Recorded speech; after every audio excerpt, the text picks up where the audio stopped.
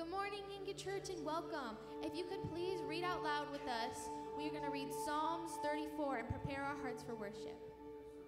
I will bless the Lord at all times. His praise shall continually be in my mouth. My soul makes its boast in the Lord. Let the humble hear and be glad. Oh, magnify the Lord with me, and let us exalt his name together. I sought the Lord, and he answered me, and delivered me from all my fears. Those who look to him are radiant, and their faces shall never be ashamed. This poor man cried, and the Lord heard him, and saved him out of all his troubles. The angel of the Lord encamps around those who fear him and delivers them. Oh, taste and see that the Lord is good. Blessed is the man who takes refuge in him. Will you stand as we worship together?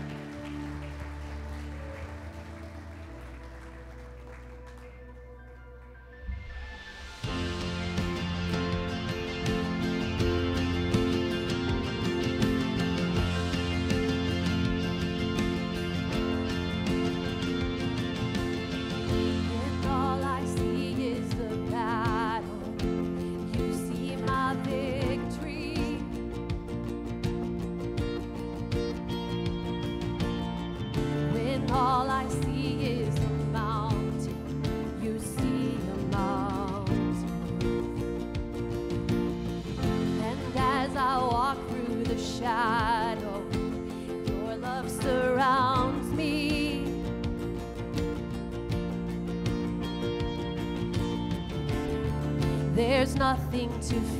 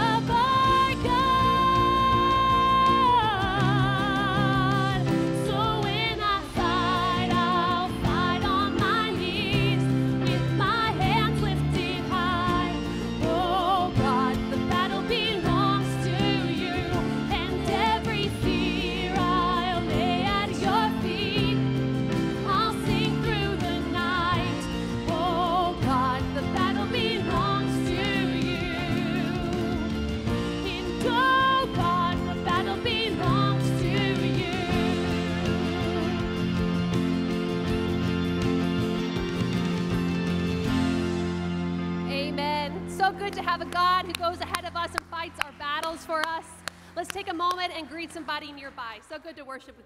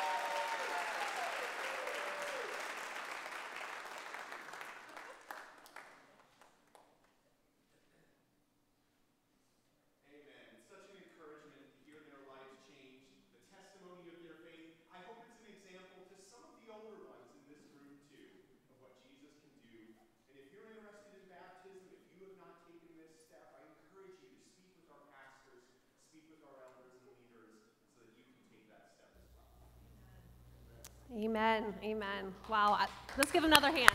That was amazing. I can think of no better way to respond to a baptism like that than just to, to stand up and continue to praise our, our Heavenly Father who saves these children, who loves them, and just to pray that the Lord would continue to be magnified in our lives.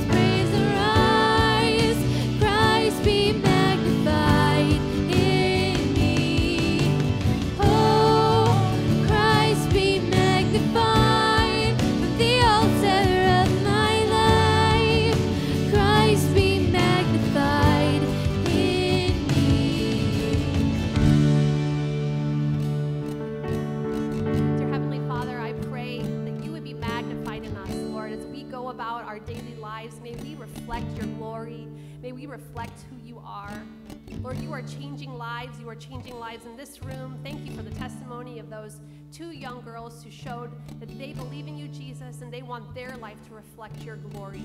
God, may that be the cry of our hearts as we go about, talk to people, interact with this world of darkness. God, may we be light. May we shine your glory into this world that desperately needs the hope of Jesus. May we magnify your name always. In your name we pray. Amen. Amen. You guys can be seated. Well, we were blessed to have members of our student worship team leading us this morning. Let's give them a round of applause.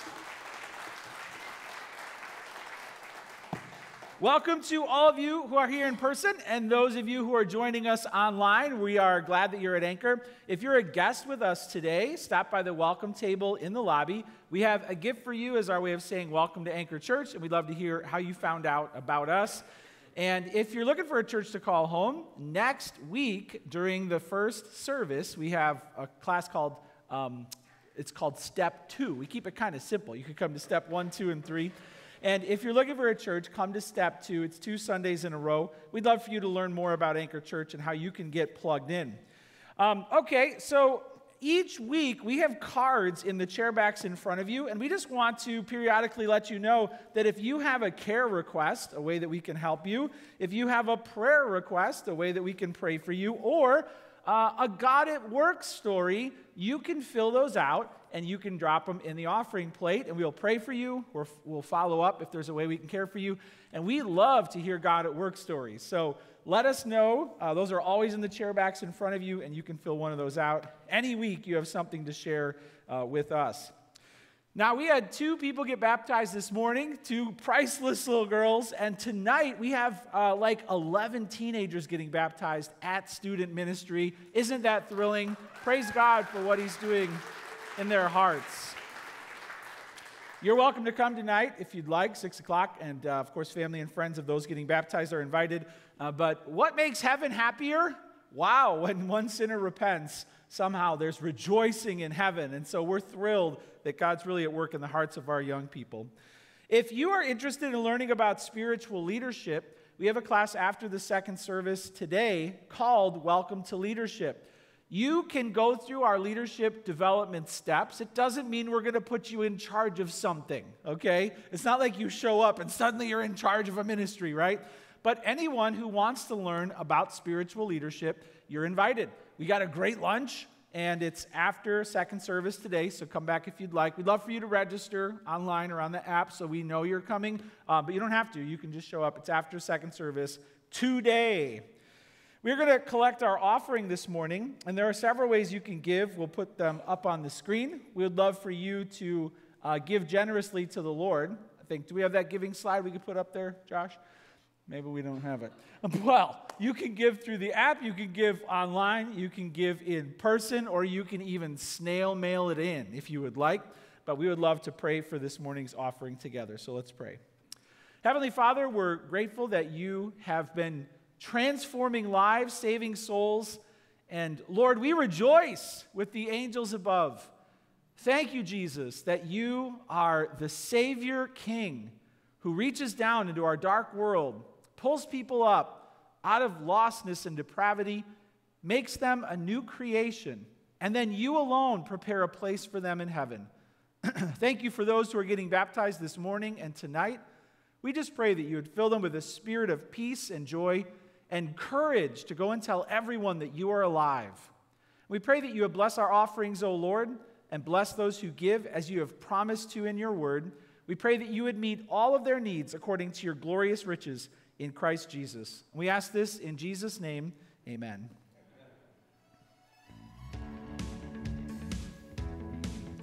It's time to check into church. If you're seated at the left end of your row, grab the guest book, fill it out, pass it down the row. There's a QR code on the front of the bulletin you can use to check in too, but you still have to pass the book right now. It's Pastor Appreciation Month. Have you encouraged your pastors? Drop a card or a note of encouragement in the box in the back of the worship center. Are you looking for a church to call home? Or have you been at Anchor for a while and are wondering what the next step is? Come and join us for Step 2, October 22nd and 29th during the 9 o'clock service. We'd love to help you understand more about who we are as a church and how we can help you grow in your walk with Christ. Sign up online, and we hope to see you there.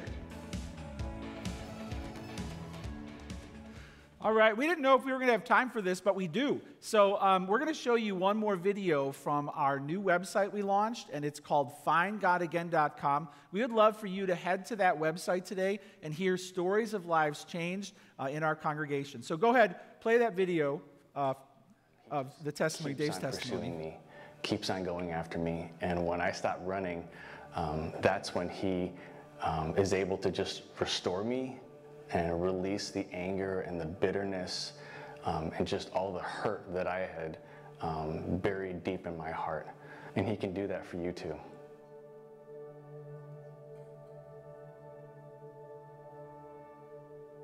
So I, I grew up in the church, uh, and I was fortunate enough to be able to do that, considering my um, my parents are immigrants from Vietnam, and so um, I'm thankful that I was able to just know and learn about Jesus at a very young age. But it wasn't until I kind of grew up a little bit more, and uh, up until about my senior year of high school, you know, I was doing life of just basically trying to do as many of the do's on the do list and staying away from all the don'ts on the don't list. Um, and I was largely unsuccessful in doing that. And it just was just a, a, a matter of just doing things to try to be a good Christian. And it wasn't until my senior year that I really learned what it was to be a Christian. It's just to, to have a relationship um, with Jesus and not trying to, to earn his love because he, gives, he gives it to me freely already. And this continued, thankfully, uh, into my adult years. I grew in my knowledge of him and just in my walk with him. And I continued into my adult years until I met my wife, uh, who I met at a, a, house church with my friend who started it. Um, we fell in love, we got married, and then about a year into our marriage, we decided to visit Taiwan because that's where her parents uh, were serving as missionaries at a church. Less than a year later, we felt called to move to Taiwan, so we decided we're going to pack our bags, we're going to go and move to Taiwan, we're going to help um, their church plant and just be missionaries with them out there. But just before we we left, um, we found out that my wife was expecting our first child. Uh, so we were super excited, of course. Uh, but then only a few weeks later, uh, through different doctors' tests, we found out that um, she was probably going to have a pretty rare genetic disease, which wasn't going to give her um, a really good survival rate. Um, so we were kind of um, saddened by this and a little stressed and just trying to figure out what do we do. And we came to, to the decision that we're just going to go. I mean, this, this wasn't a surprise to God. God knew this was coming. And we had already made that commitment to move out there. So we decided, let's just do it. So in January of 2013, we packed up our bags, sold most of our stuff, and, uh, and moved out to Taiwan to the other side of the world. And shortly thereafter, um, uh, my wife gave birth to our first daughter, Sophia. And um, despite all of the predictions that the doctors said about her not making it to full term, not being born alive, not being able to live even a week, she defied all those odds and she lived um, miraculously 47 days. Um, but then she did pass. Needless to say, that broke me. Um, I didn't know what to do with that. Um, I didn't know how to make sense of like being called to a foreign country to do what we thought was God's work, only to have our first daughter uh, die. While my wife found comfort in, in the Lord and she um, found comfort in uh, the community of the church, I just grew cold and bitter and angry. Um, and that carried on for a number of years.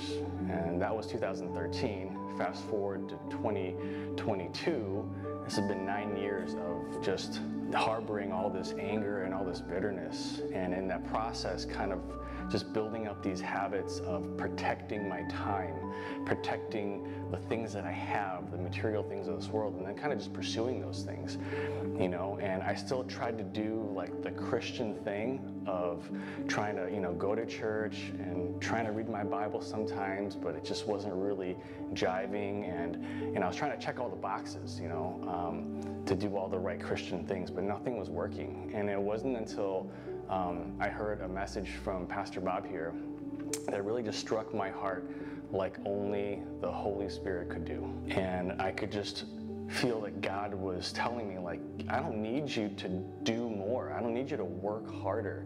Um, I just want you. And um, he just wanted my time. And so I thought to myself, well, how am I going to get that time? I got I got a full-time job. I've got a wife, three kids. I got all my interests that I that I want to do and accomplish in life. Like, where am I going to find this time? And I just felt him saying, just just give me a try. Just give me a try.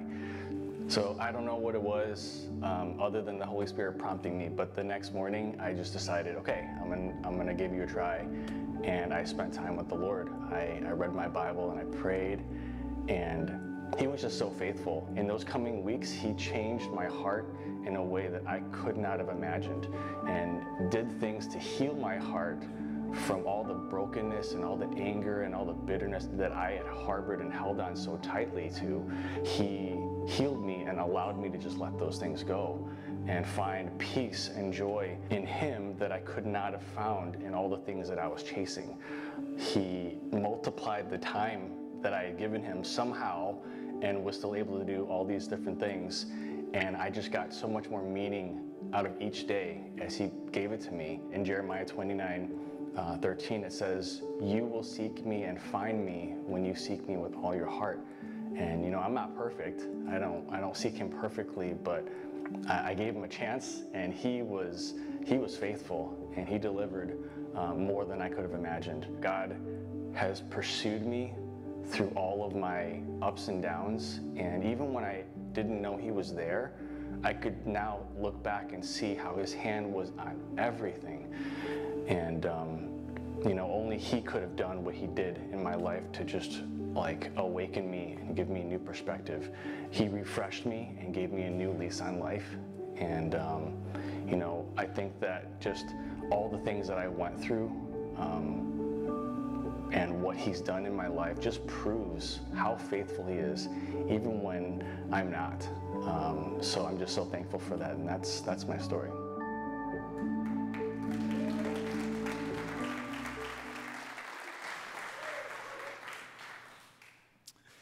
We're so grateful for those who have already filmed their stories, and we would love for you to have the courage to share your story as well. So let Pastor Stephen know if you would like to have your story on that website.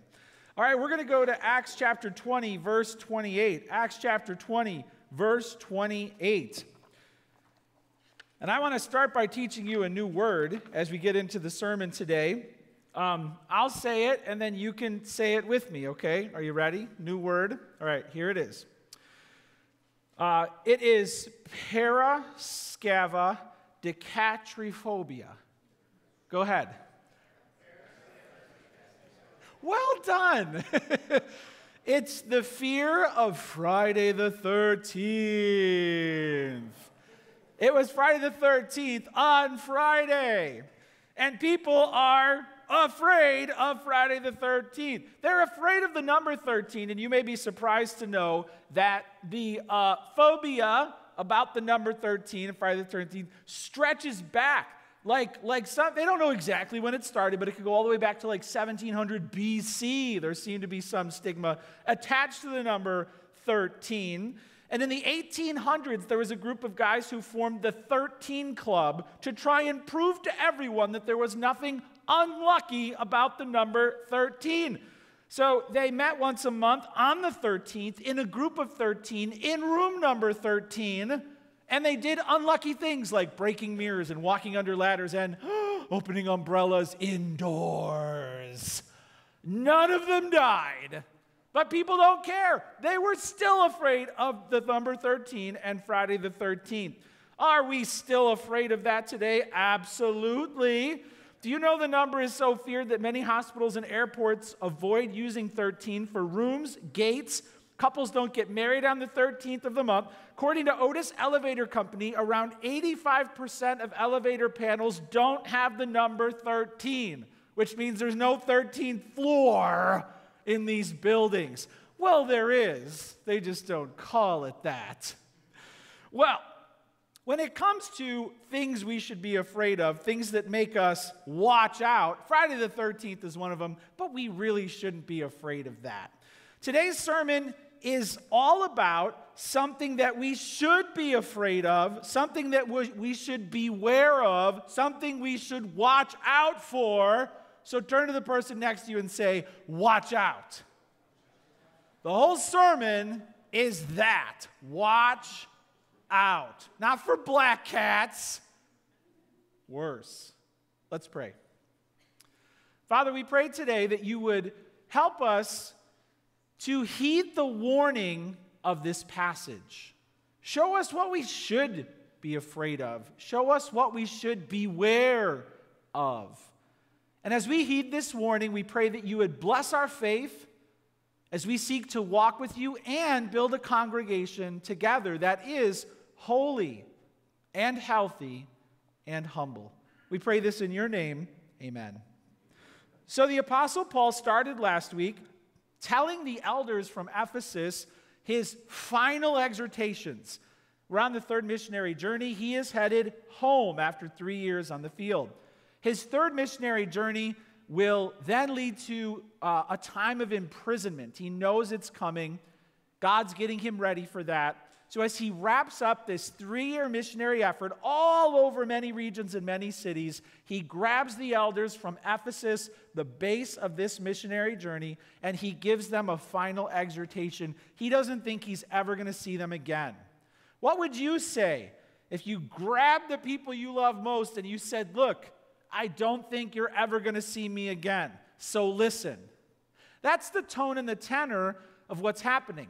And he has elders, he has leaders from this church. He knows they're going back to strengthen and develop all of these congregations.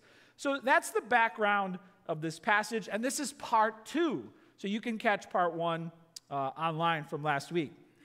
But check out verse 28 as he continues his exhortation.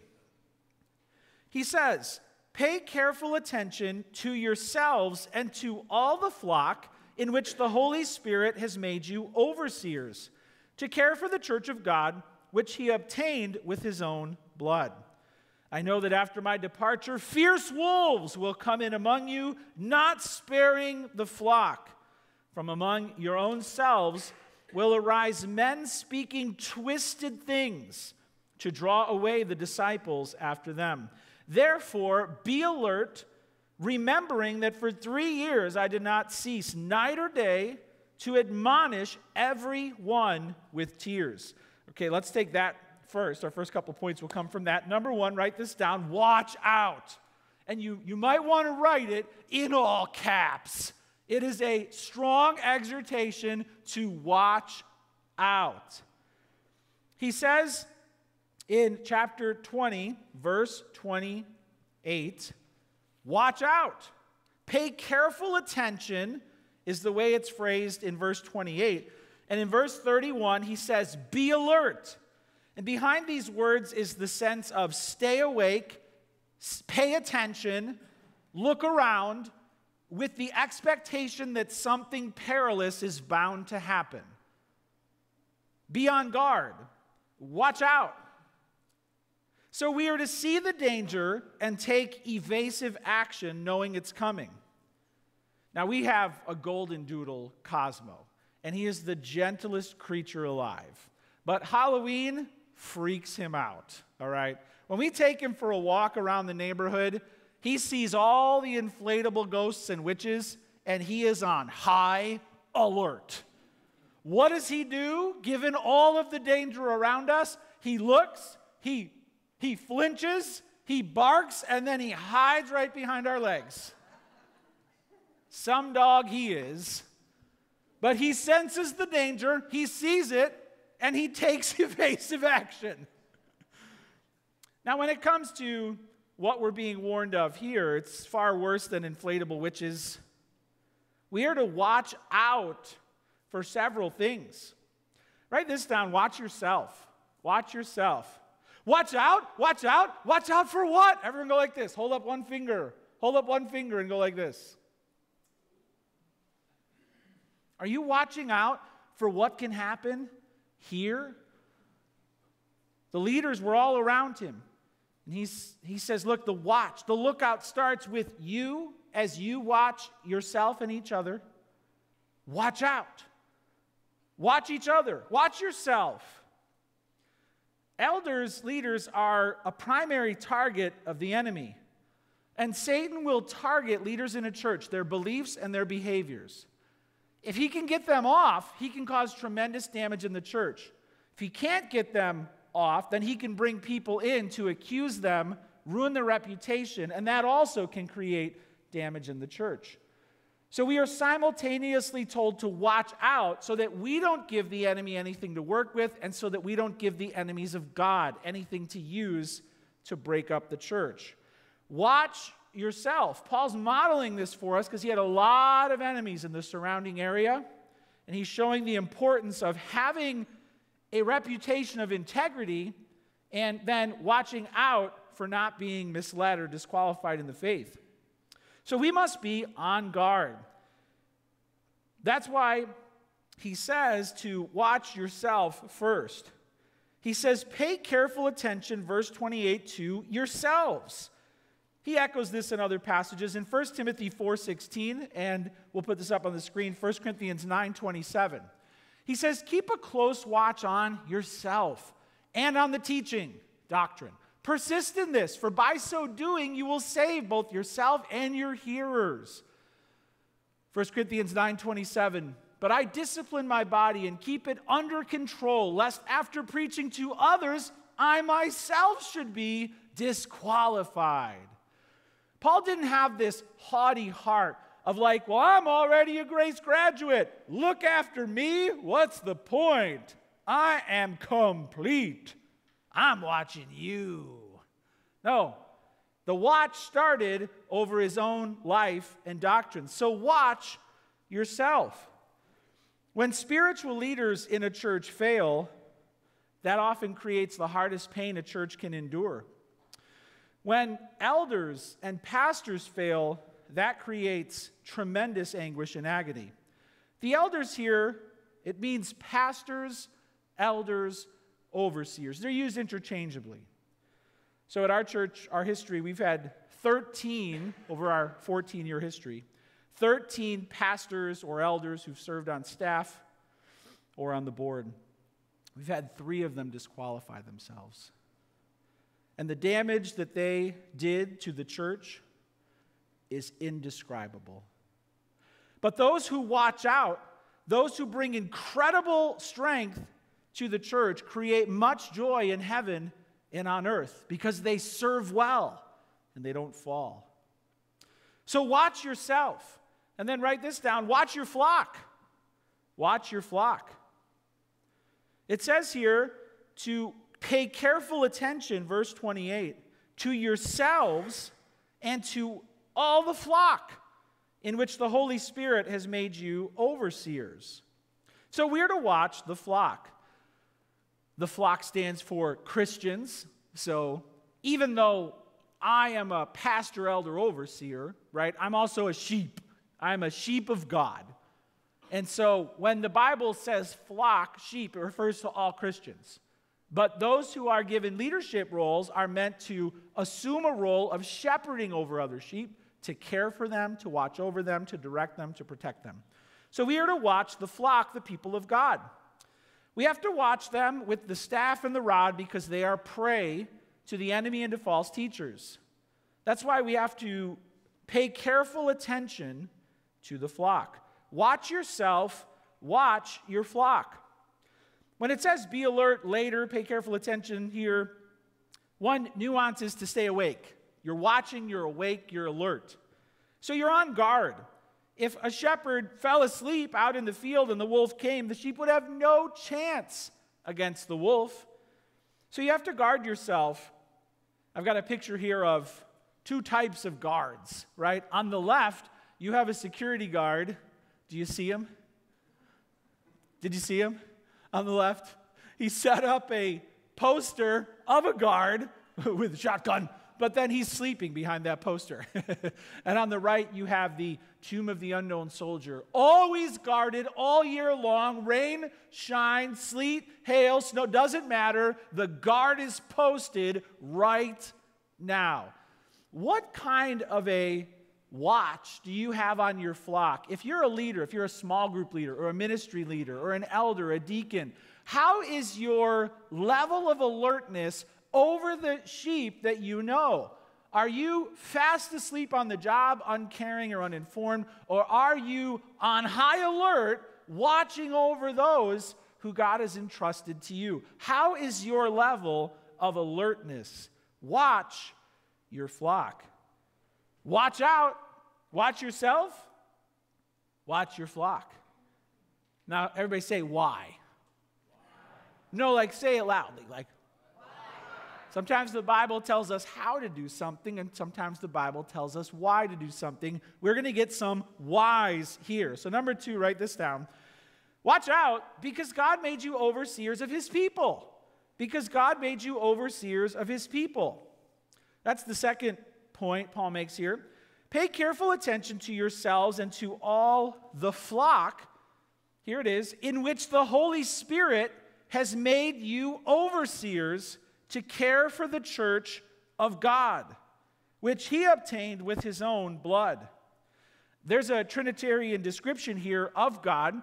And remember, we don't just believe in any old God or every God out there. We believe in the one true God who exists in three persons the Father, the Son, and the Holy Spirit. That is the only true God.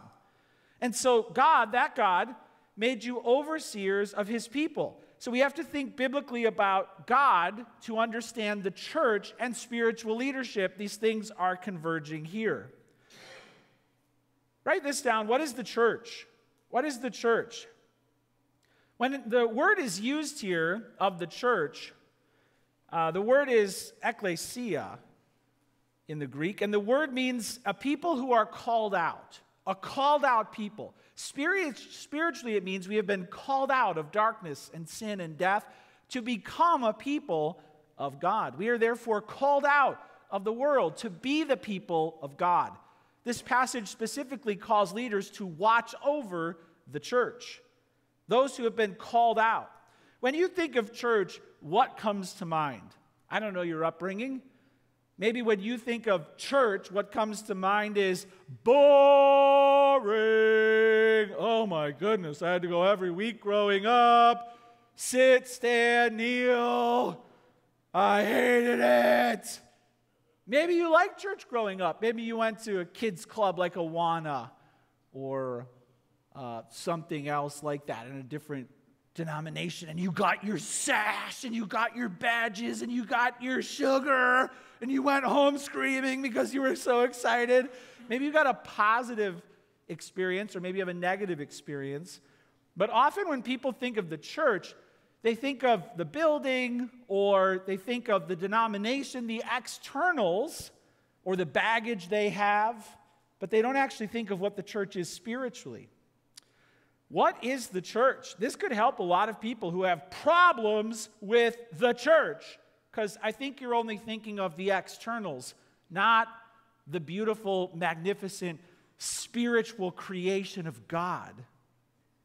So, what is the church? Well, looking at the Trinitarian parts of this, it says here in verse 28 it's the church of God. So, God the Father is represented here. And it says, the flock in which the Holy Spirit has made you overseers. So the Holy Spirit is mentioned there. And then it says, which he obtained with his own blood, which is for Jesus Christ, his death. The blood here stands for the entirety of the sacrifice of the Lord Jesus Christ. So Father, Son, and Spirit are all mentioned here, and the church is defined in relationship to God. Listen, the church is defined as a special group of people rightly related to God the Father, the Son, and the Holy Spirit. That's the church. Write this down. We are God's people.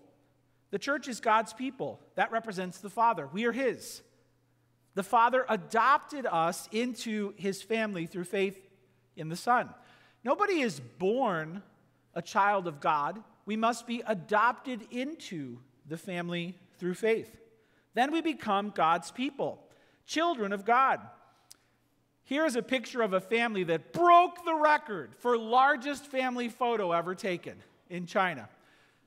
Record break. You can't even see. There's like over 500 people from this one family that gathered together to take a family picture. They had to go out like to a outdoor cavernous area on a mountain to get the family in the picture. And you can't even see all of them. There's another aerial photo that shows all of them. Family photo. So the idea of a gigantic family is what the church is. We are the family, the household of God. We are the family. We are God's people. Write this down. We are God's presence. We are God's presence. This reflects the Spirit. When the Holy Spirit comes to live in you through faith in Jesus Christ, He also unites you to every other believer who's ever lived. We are spiritually one. And therefore, and 1 Corinthians really expands on all this, but the Holy Spirit doesn't just take up residency in you individually, the Spirit is present in the church corporately. Therefore, Christ is in us individually and in us as the gathered community of God in a special way. We are the dwelling place of God. Christ took on flesh in Bethlehem, died on the cross, rose again, and he's taken on flesh again in you, if you believe in him, and in us as the church. We are his body, the presence of God, and that happens because his spirit is in us. That makes us temples of God.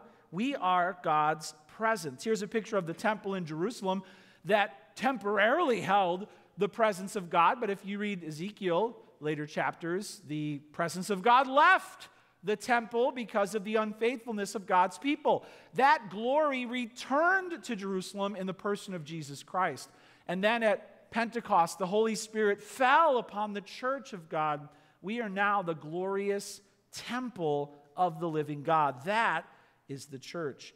So we are God's people, we are God's presence, and write this down we are God's purchase. We are God's purchase. It says, the flock in which the Holy Spirit has made you overseers to care for the church of God, which he obtained with his own blood.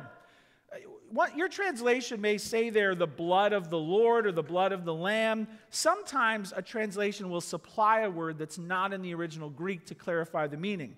The reason they would do that is because it sounds a little confusing here, because it says the church of God, that's the Father, which he obtained with his own blood.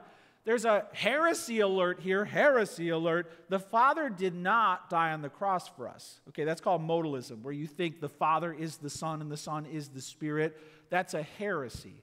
So it could sound like it's God the Father's blood, but it really is just a literary device here. It's the Father who sent his Son, his own blood, right? That's Jesus dying on the cross. It's very clear. And so it's not wrong for translations to help clear that up because they're indicating a right truth. But if your translation doesn't say that, you just need to know that his own blood means his own son in this text. Therefore, we are God's purchase through his son.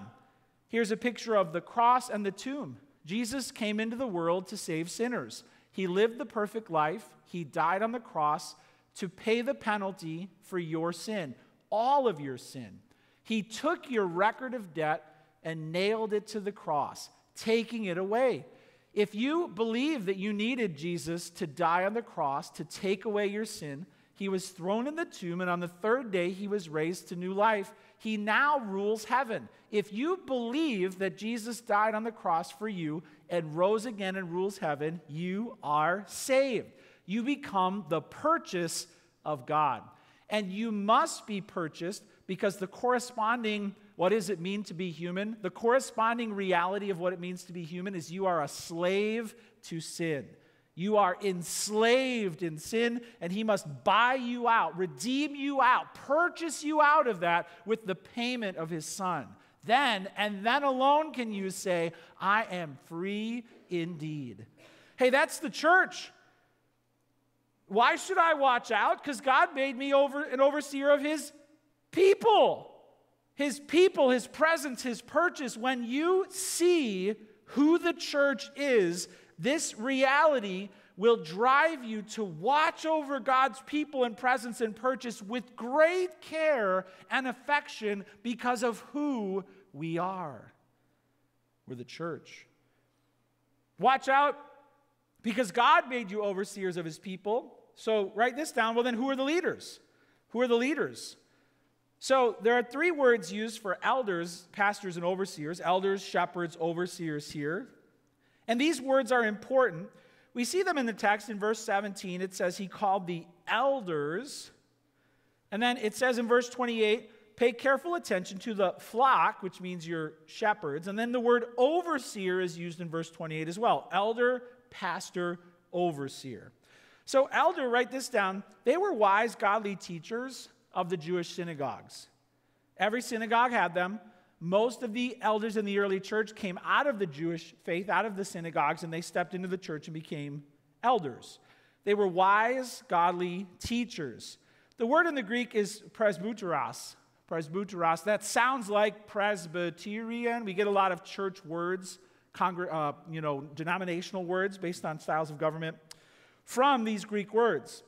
So elders were wise, godly teachers. And then write this down shepherds. Spiritual leaders are shepherds. They are pastors who feed and protect the flock. Pastors who protect and feed the flock. Shepherds look after the flock of God. Here's a picture of pastors doing their thing. This is the idea of what spiritual leadership is all about. In the cold, out in the field, watching over the sheep, and sometimes that's what it feels like in the lower right to take care of God's people.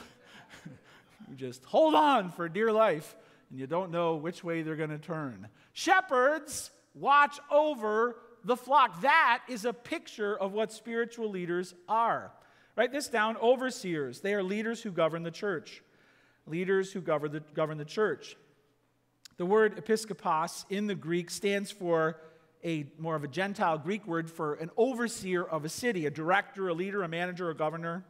So put them all together, and they're interchangeable, and you get wise, godly teachers who feed and protect the flock and leaders who govern the church. That's what spiritual leadership is all about. So, so watch out. Why? Well, because God made you leaders, overseers of his people. Wow! They're the flock of God, and I'm a shepherd of them. Wow! Wow, what a trust. Number one, watch out. Number two, because God made you overseers of his people. Number three, because wolves are coming to devour them. Because wolves are coming to devour them. Now it gets real in verse 29. I know that after my departure, fierce wolves will come in among you now, just to make this real, we decided to borrow a wolf from the Brookfield Zoo. Go ahead and open the door and let it in. Just kidding. But what would happen if we did? What would happen if a ravenous wolf ran in here right now? Well, the scenario I'm about to tell you is worse than that scenario. A physical wolf would be bad, but a wolf, spiritually speaking, is worse. So, however you would react if a hungry wolf ran in the room right now, double it for what I'm about to say. Wolves are coming to devour the flock. Here's a picture of a wolf. We'll just show you a picture. That's coming. May already be here. Wolves are religious people who know biblical truths but, but they are actually going to work to destroy God's people. Do they look like wolves? No. They don't come in here saying they're a wolf. Can't wait to destroy you. Nice to meet you. Hi, I'm Bill. I'm going to ruin your salvation. Nice to meet you. They don't say that because Satan himself masquerades as an angel of what? light. So, how do we spot a wolf? Well, write this down. Their teaching is twisted. Their teaching is twisted. Wolves, fierce wolves, will come in among you, not sparing the flock, and from among your own selves. Verse 30 will arise men speaking twisted things. So, this is what makes it hard. They went to Bible school sometimes. They know their Bible. Oh, they read through the Bible a lot. They can tell you Greek. They're articulate. They seem like elders, shepherds, overseers. Maybe they've been a pastor or they served on a board. They have some knowledge that impresses you and lures you in. But there's something fishy about their teaching, there's something twisted. This actually ties into the very nature of sin and evil. What is sin? What is evil? A lot of people have no clue about that. Or sinful people, evil people. There's a lot of good in sin. C.S. Lewis made the point that sin is a parasite. It has to take something good and then twist it because evil can't make anything on its own. So that's where you will miss it. If you don't understand how temptation works, okay, there's something good that you need, that you like, that you enjoy hearing, then it's bait. Then it's bait. Then there's a disguise that makes you not see the danger. That's how wolves operate. But their teaching is twisted, and they ultimately add to or subtract from the Bible. Oh, it's bigger than what you heard growing up. I've got some new things you have never heard before. Oh, new things. I've never heard this stuff before. Watch out if you've been in your church, if you've been in church the whole life. Oh, I've heard it all. I've heard it all. Oh, there are some people who will teach you some new things if you have itching ears to listen to things beyond the Bible. Watch out if the Bible has become old news to you. You're a sitting duck. You don't need new things. The Bible is plenty to satisfy your soul forever. Watch out for people who show up with new teaching. Watch out for people who start subtracting things. Well, yeah, I mean, I know it says that, but come on. Do we really believe that still? Snip, snip, snip, snip, snip. You've got less of a Bible. Their teaching is twisted. Today, a lot of people are being misled by false teaching in the church. Some are tempted to chase after more supernatural things, more miracles, more healing, even someone who claims to have raised the dead. Beware. Beware someone who claims to have the apostles' authority. Watch out for people who teach today that sinful, worldly ways of life and thought are okay with God. When what the world is saying sounds a whole lot like what this teacher is saying, watch out because they're subtracting moral prohibitions from the scripture. Watch out for strange teachings about how you need to know the Jewish roots of your Bible or the original languages or strange teachings about church history. Watch out for strange teachings about manifestations of spirits and angels and special prayers that have been found. Watch out for strange teachings that suck you in.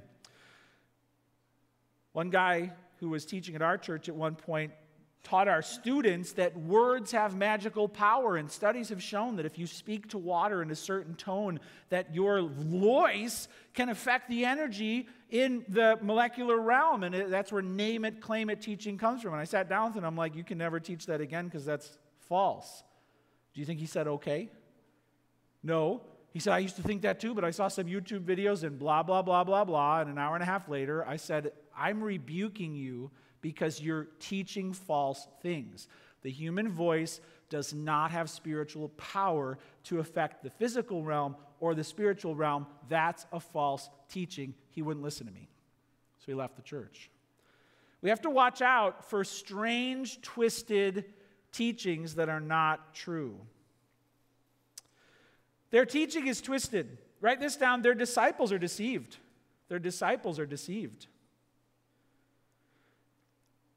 And therefore, they're mistreated, manipulated. Sometimes these disciples are complicit because they're getting something out of the relationship. Sometimes they're not, they're blind. Sometimes they embrace the sin of a false teacher and look away from it, but other times they're truly tricked into thinking this person is a legitimate teacher of God. It says, speaking twisted things, verse 30, to draw away the disciples after them. So they want their following. They want these people, and they're going to mistreat them. Therefore, be alert, remembering that for three years I did not cease night or day to admonish every one of you with tears. So their disciples are deceived. And we've had people in our church who've reported crazy things going on in past churches from the pastors or the leaders. There was one church where the pastor was so addicted to medication that he used his flock to try and get his pain pills from them. What a predator! People can get twisted. When Y2K was coming about, I talked to somebody when we first launched our church. He said, Yeah, I went to a cult church. I said, What do you mean? Well, I was asked to buy gold in my pastor's office to get ready for Y2K. Oh, did you leave? Yep, I left. Good job. And in churches like that, they teach you watch out. If you leave this church, you've lost your covering of protection. We can't, we can't protect you anymore. So who knows what's going to happen to your family when you no longer have our protection? This is the kind of thing you have to watch out for. Write this down their hearts are impure. Their hearts are impure. This is how you spot a wolf. Their teaching is twisted, their disciples are deceived, their hearts are impure. Greedy for money. And Paul goes on to say, Now I commend you, verse 32, to God, to the word of his grace, which is able to build you up, to give you the inheritance among all those who are sanctified. I coveted no one's silver or gold or apparel. You yourselves know that these hands ministered to my necessities and to those who were with me. In all things I have shown you that by working hard in this way, we must help the weak and remember the words of the Lord. He's using his example to show you what a wolf isn't, and their pattern to show you what a wolf is. Watch out. Their teaching is twisted, their disciples are deceived, their hearts are impure. In Acts 13:10, here's what he says. We'll put it up on the screen. He said, uh, this, is, this is actually looking back to a, a former encounter in the book of Acts with a false teacher and said, You son of the devil, you enemy of all righteousness, full of all deceit and villainy, will you not stop, listen, making crooked the straight paths of the Lord? That is the condemnation that falls on any false teacher. Therefore, you have to watch out for them. So, wolves are coming to devour them. Number one, watch out. Number two, because God made you overseers of his people. Number three, because wolves are coming to devour them. And then number four, write this down. So, grow strong by teaching and applying God's word. Grow strong by teaching and applying God's word. what's the, how do we get ready for this? Well, we grow strong.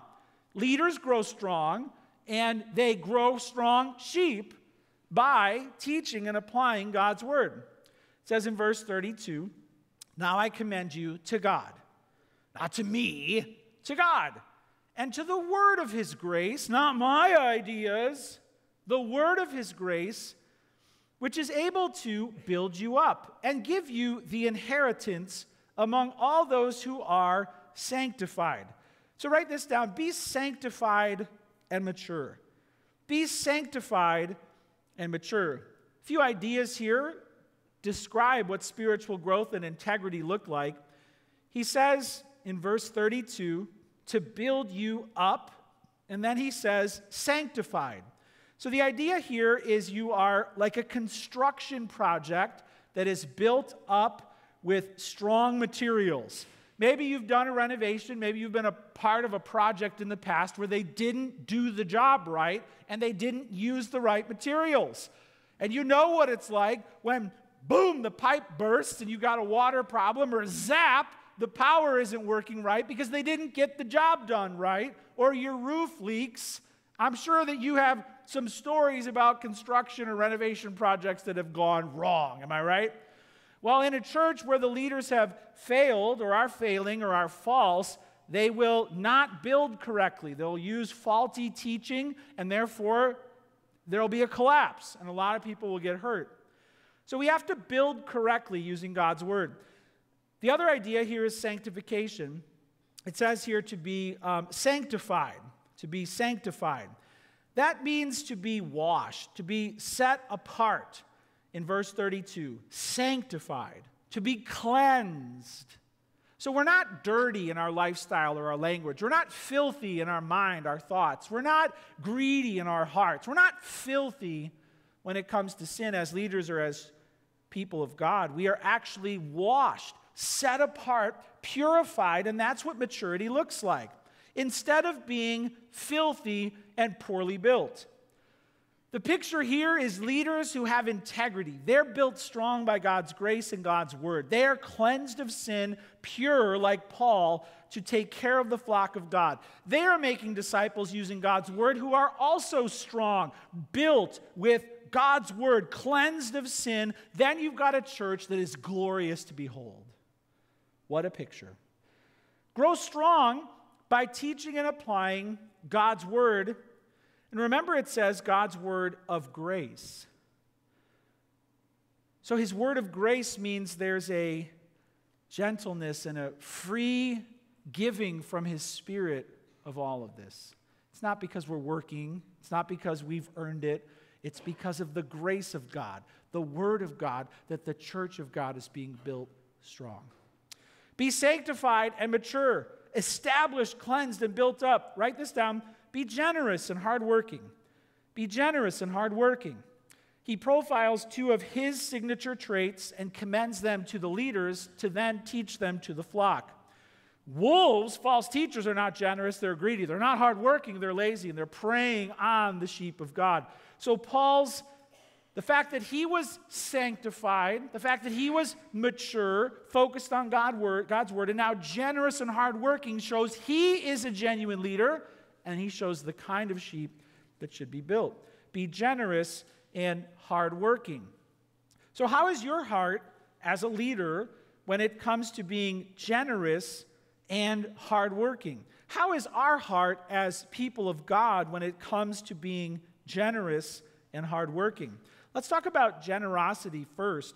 When it comes to giving, the idea of giving generously to the people of God and the kingdom of God is a theme that flows throughout the book of Acts. They were so generous to God and his kingdom, and the leaders set the pace. Barnabas was a leader who sold property and brought it to the apostles because the kingdom was expanding. They made tremendous sacrifices as leaders to show the people of God the value of the kingdom of God. How's your heart when it comes to giving generously to God? It begins when you understand the meaning of the word inheritance. It says here in verse 32 to give you the inheritance, the inheritance, which ties into Paul's 32 I coveted no one's silver or gold. The inheritance is the spiritual understanding that if you've become a child of God and you are a child of the Father, uh, that He has given you the kingdom. So, so you are set for eternal life because the Father has handed you streets of gold. You have been handed heaven free forever. And when you, as a child of God, realize that God has handed you heaven free forever, that reaches down into your pockets and makes you transformed and you want to hand other people heaven and help. So if you've grasped the generosity, the eternal generosity of God, you want to become like Him in handing other people heaven and help. And that shows up in generous giving. The inheritance that prompts the freedom from coveting. In all things, I've shown you that by working hard in this way, verse 35, we must help the weak. And remember the words of the Lord Jesus. Now, he quotes Jesus, but we don't have a record of this saying elsewhere, so Paul has a saying of Jesus here that's found only here. How he himself said, It is more blessed to give than to receive. It is more blessed to give than to receive. Now, we, of course, have been taught the opposite of that from when we were young. It's better to get than to give. Am I right? Get all you can while you can. So we live not to get, but to give as Jesus commands and commends. The Bible says that the blessed life comes to those who live to give, not those who live to get. Matthew 6, 19 to 21, we'll put that up on the screen. Here's what uh, Jesus said Do not lay up for yourselves treasures on earth where moth and rust destroy, and where thieves break in and steal. But lay up for yourselves treasures in heaven, where neither moth nor rust destroys, and where thieves do not break in and steal. For where your treasure is, there your heart will be also. So our heart follows our treasure. And if our treasure is on the let's get all we can and save it and keep it and store it and protect it, your heart will be hoarding and it will be on earthly things. But if you live to give to God's people and his kingdom work and you give sacrificially, generously, cheerfully, regularly, then your heart flows there and you are full of joy for God's kingdom expanding throughout the earth. And you have a portfolio in heaven that Charles Schwab isn't looking after for you. God Himself is watching over it. Be generous. How are you doing with generosity? It's a really good time to check to see where you're at with your giving. Maybe you're not giving yet, and God is prompting you to become a generous giver to His kingdom work. Maybe you're not giving sacrificially yet, and God is prompting you to give sacrificially. Maybe you are giving sacrificially, and God is challenging you to press on. Some have the gift of giving, and they have been prospered in a unique way for such a time as this to truly make a great gift to the kingdom work. Wherever you're at, let's give because God has handed us heaven freely, and so we should give to help others find heaven as well. So be generous and finally hardworking. Hardworking. He says here, by working hard in this way, we must help the weak and remember the words of the Lord Jesus, how he himself said, It is more blessed to give than to receive. When he had said these things, he knelt down and prayed with them all. There was much weeping on the part of all. They embraced Paul and kissed him, being sorrowful most of all because the word he had spoken, that they would not see his face again, and they accompanied him to the ship. Hard work, three years of hard kingdom work, Paul just finished. He was a tent maker, sweating out in the heat, you know, earning his own uh, way, giving, helping the weak, preaching the gospel over lunchtime. What a hard, hard worker. And how are we doing at God's kingdom work? Serving his people, sacrificing our time and our energy to work hard for the kingdom. This is how the kingdom was built up back then, and this is how the kingdom is built up today, whether it's those who are showing up to cook the men's prayer breakfast or serve at Awana Wednesday nights or showing up to move mulch in the parking lot last week or early this morning for tech team duty. This is working for Christ, and He's a king who deserves our very best. Well, number one, watch out. Number two, because God made you overseers of his people. Three, wolves are coming. And four, so grow strong by teaching and applying God's word. Well, based on this tearful goodbye, I think it's appropriate to close in prayer and to put all these things into practice as the Apostle Paul finishes up his third missionary journey. So let's go to the Lord in prayer and invite him to transform us by his word that we've heard today. Let's pray. Father, what an amazing section of scripture we've been in as Paul spent three years on the road, camped at Ephesus, camped at Corinth, going around teaching the gospel, souls getting saved Lord, the power of miracles being done, the Word of God being written on this trip. What an awesome display. And you did it through Paul, who was the chief opponent of the gospel, now living to get others to profess faith in Jesus Christ. So, Lord, I pray that here as a church today, we would heed his call to beware. Lord, help us as a church to watch ourselves. I pray that you would help us right now to as the Bible says, test and see if you are in the faith. I wonder if there are some here today who have never believed on the Lord Jesus and been saved. They've never repented and asked you, Jesus, to wash them of all their sin by your blood. Right now, they can say it in their own heart. They can say, Jesus, free me from my sins. Jesus, thank you for dying for me on the cross. They could become the very people of God, the very presence of God, the very purchase of God right now. And Lord, for those of us who have the incredible honor of leading your people, help us to watch out, first on our own faith and doctrine not being led astray by temptation. Lord, help us to watch those who you have entrusted to us to care for them.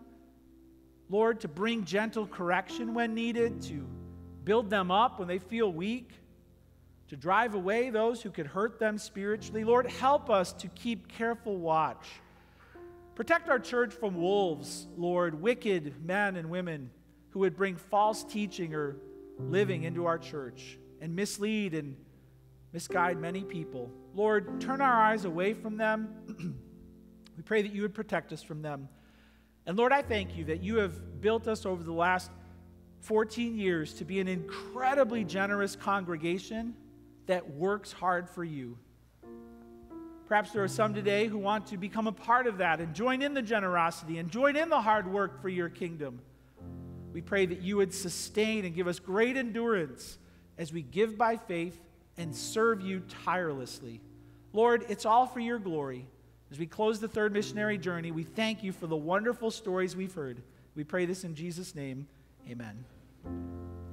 Let's stand and continue to respond to the Lord in worship, you know, just like Isaiah did when he heard the Lord calling out to him. He said, Here I am, Lord, send me.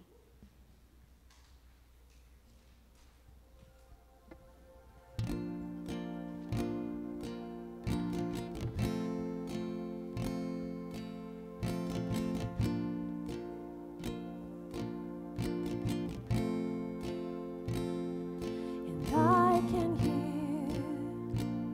my Savior calling. Take up your cross and follow me. Let my heart move in sweet surrender. Lord, it's my joy to say yes to you. Send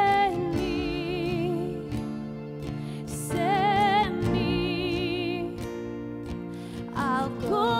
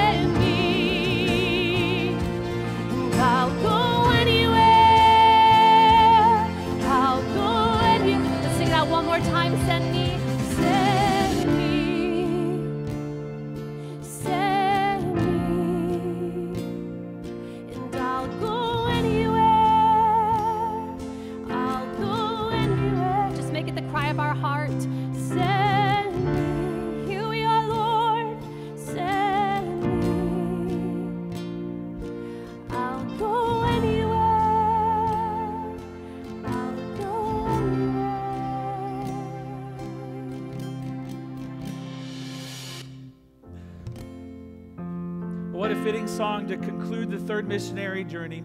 Our leaders are coming down front to pray with you, for you, for your loved ones. Don't miss this opportunity to be prayed for. Please join us in the gym for refreshments after the service. As you go, know you are loved. We'll see you again next week. God bless.